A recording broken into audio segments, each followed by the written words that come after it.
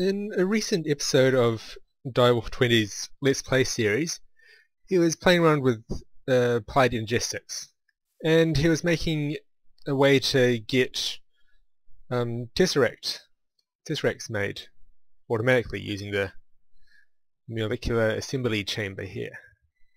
And he he didn't quite get it completed.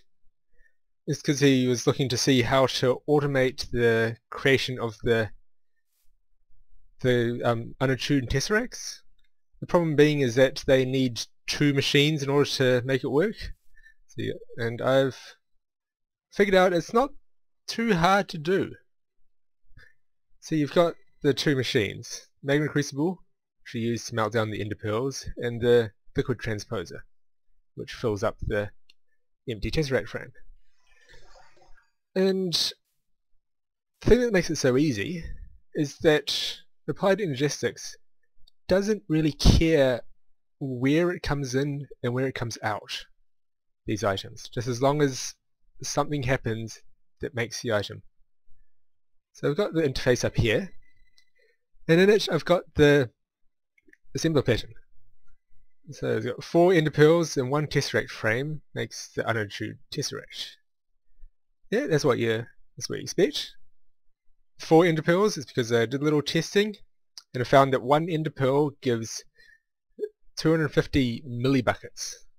So one quarter of a bucket of molten ender.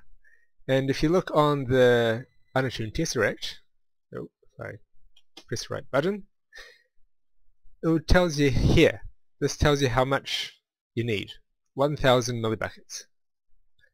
So it just means four of them. And all you need is just for that to go into a chest.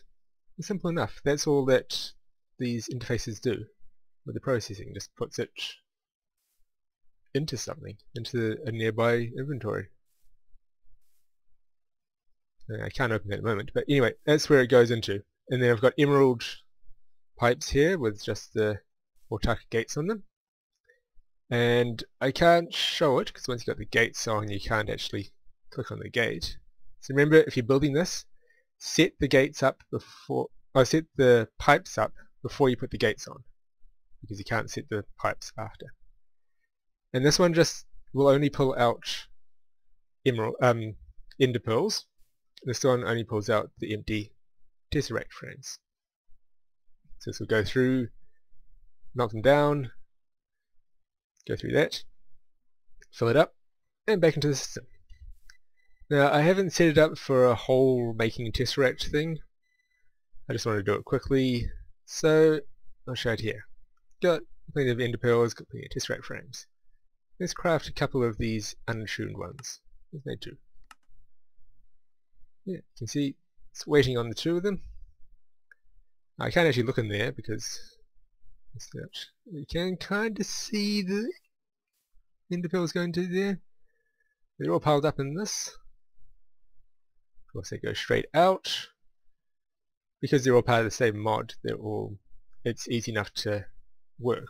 If these were different mods, the the liquiduct would have to be one space further apart in order to set it to output mode and then so on and so forth.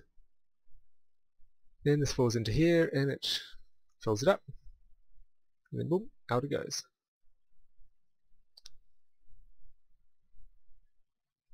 Looking here, we've got the one in there, still waiting on the second one. It just says waiting until it gets it back in. Convert. Use it up. Use all the stuff in there. And we've got two unattuned tesseracts. That's a fairly, fairly simple build. Really not very space intensive. Um, could probably, uh, might be possible to change it a little bit, make it a bit more compact. So instead of three wide, you could do it only two wide. Yeah. Anyway, that's my take on the build. I hope you think it's a good one. Let me know if you think of any better ways to do it. Or if you've made a, an entire system that can make a whole tesseract just with a click of the button, let me know that too. Put it up as a video response if you can. Thanks for watching.